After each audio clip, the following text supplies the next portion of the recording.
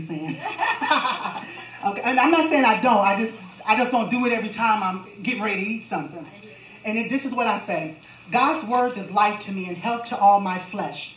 I esteem the word of God more than my necessary food. Now remember, these are scriptures. Some of them, most of them are scriptures, and some is where I'm just adding stuff. I nur- I'm nourished up in the word of faith. My body is a temple of the Holy Ghost. I glorify God in my body and in my spirit. My body is cleansed and detoxified from all toxins, parasites, any candida, any cancer or sickness and diseases because I'm redeemed from the curse of the law. Bodily exercise is profitable for me. I exercise regularly three to five times per week, and my body is strong and limber and has excellent muscle tone and endurance. I love to exercise and I eat healthy foods. I nourish my body and cherish my body as precious to the Lord. I am beautiful inside and out. I weigh a healthy 150 pounds. I wear size 8 in clothing. I treat my body well and don't misuse it. Therefore, I come out from among foods that deplete my body of essential nutrients. I cancel all destructive cravings for food and substances that threaten my health and my well-being.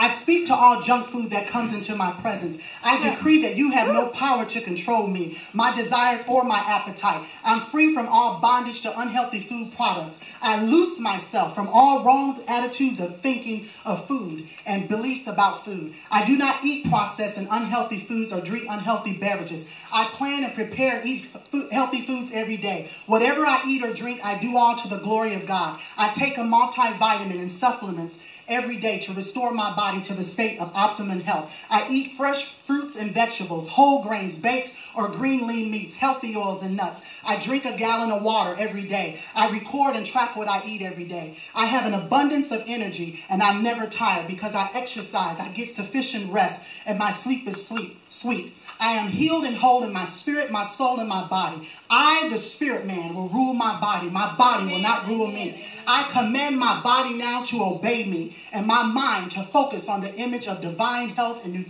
nutrition in the name of Jesus Christ. Amen. Amen. So that is bringing your thoughts captive to the obedience of Christ. You don't have to say all of those. You can just take three and take it with you. But me, I need all of these. I was going to say, you pray that before each one of the meals, especially at a restaurant, you will lose weight. Yes, and that's what God. That's why God told me to do it. He told me to do it so I can begin to renew my mind. So when I get, I remember one time I, I, I was getting ready to reach for something, and I heard I heard myself, my voice say, "I command my body to obey me." I heard it because I was saying this so much that I was like, "Ooh." You know, like that, eat it. Spirit man yes, it's the spirit man controlling me. Yeah. Amen. Yeah, like okay. And then this is, Sony, can you just pass this around for everyone to see it? The last, last example, we're almost finished, demonstration is a book of remembrance. Years ago, God had me put together a book of remembrance, and just this year he spoke to me again and said, "You're not writing down everything, I, everything, all the blessings that I give you." Now I write in my journal, but this was a special book. It's called the Book of Remembrance. At my old church in Chicago, my uh, apostle that I was under, he would always have me get up and do the offering message because I would always have results. I would always have testimonies because I would always take God's word and I just I have faith in that area for finances. So I would always take the word of God and you know, believe God for it and I would get results. So uh, I remember one time I did a message um, on um, the book of remembrance and was sharing with people about the book of remembrance. This is what God gave me. And what it is is you're just thanking. You, you have a book of remembrance of everything God did for you, and God would have He would encourage me to write down, you know, write down every day. Even if He gave you favor, it can be a parking space. I know for me, a parking space is a lot to me. It's a small thing, but it's a blessing to you. When I pull up at my apartment, I don't want to park far, far away. I'm a, I'm a woman. I don't want to be, especially if I'm coming in late, I don't want to be, I have to use wisdom.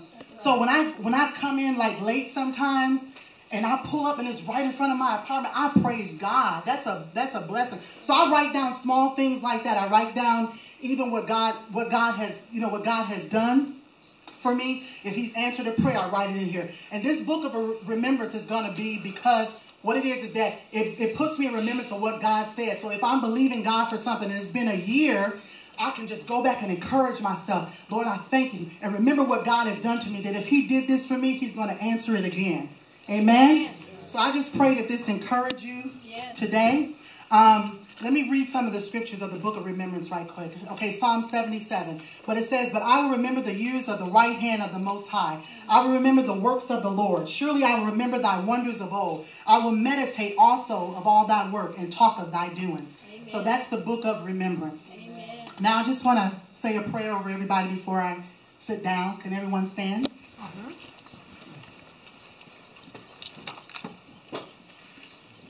Praise God. Everyone can close their eyes and raise their hands.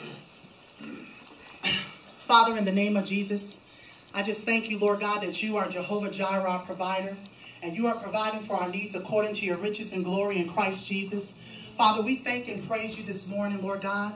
We thank you, Lord God, for your mercy that's new to us every morning, and we thank you for your grace. And Father, I just thank you for your people, oh Lord. And Father, we thank you for this message that you've given us to begin to acknowledge every good thing that is in us in Christ Jesus. So, Father, in the name of Jesus Christ, I decree and declare your word over your people. I decree that Spirit of Prophecy Church, that we will be a people that hide the word of God in our hearts, that we may not sin against God. I decree that we'll be a people that walk by faith and not by sight. We will be a people, oh God, that your word, Lord God, will become a lamp unto our feet and a light unto our path. I decree in the name of Jesus that we will be a people, oh God, that we will not live by bread alone, but by every word that proceeds out of the mouth of God. And Lord, I decree your word that you are opening up our eyes and our ears to begin to hear and see what the Spirit of the Lord is saying unto Spirit of Prophecy Church, oh God. Father, I thank you right now. Thank you for teaching us how to acknowledge every good thing that is in us in Christ Jesus. Amen. Amen. Hallelujah.